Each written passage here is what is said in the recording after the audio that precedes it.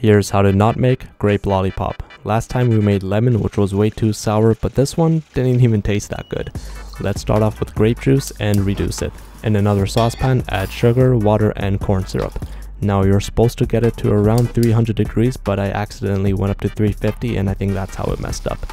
Then I poured in my grape juice and placed them in my molds. After 30 minutes I popped one out, combined it with water and that's pretty much it. Try it out but don't get it too hot.